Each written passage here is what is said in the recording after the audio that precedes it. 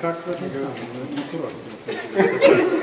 He was arrested uh, during we uh, we all together were going to Harvard uh, dinner mm -hmm. because Harvard uh, invited us at first um, to have a lecture about freedom there and after to have a dinner and we were going together to have this dinner after lecture and uh, police suddenly arrested uh, him just for nothing uh, for going uh, with us. Um, so we were surprised and we were very upset about it. Mm, and uh, we think this is completely not about freedom. So we came here to, to make something.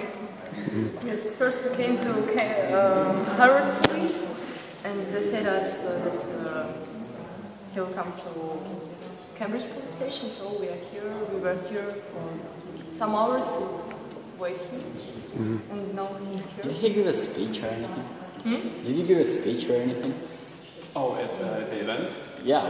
A little, yeah, a little. And it's actually interesting that the Harvard University Police Department said that uh, they were willing to let it go if I just left, but the organizer of the event uh, actually requested police to, To proceed. yes.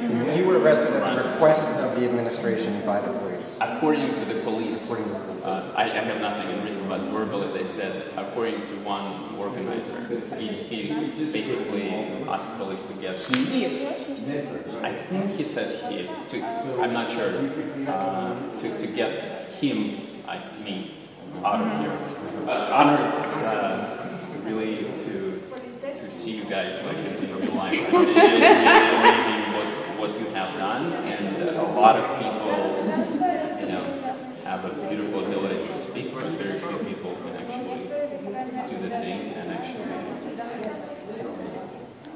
take the consequences. So I just have huge admiration for what you guys are doing. In Russia, it's, it's completely different to stand up against your own government versus you know, the government of another country. We realized it because after we,